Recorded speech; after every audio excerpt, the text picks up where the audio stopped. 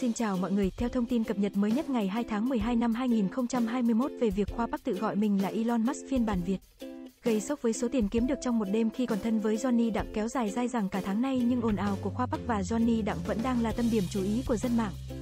Bên cạnh việc quan tâm đến những tình tiết mới, nhiều người còn phát hiện ra các chi tiết đã có từ trước.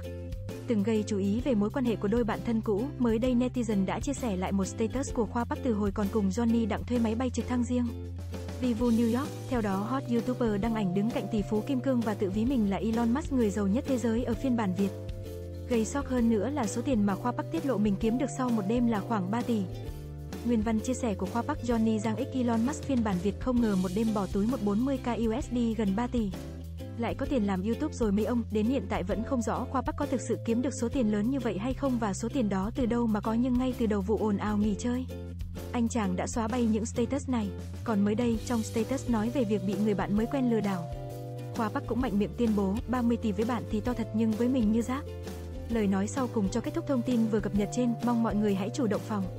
Chống dịch Covid-19, theo lời kêu gọi từ Bộ Y tế, mỗi người dân Việt Nam tiếp tục lan tỏa và thực hiện thông điệp 5K. Khẩu trang, khử khuẩn, khoảng cách, không tụ tập, khai báo y tế để quyết tâm chiến thắng đại dịch Covid-19. Kênh thông tin New 247 luôn luôn chia sẻ những thông tin mới và hữu ích mọi lúc mọi nơi. Hãy follow page, like video và chia sẻ với mọi người để cập nhật những thông tin mới nhất. Xin chào tạm biệt và hẹn gặp ở những video tiếp theo.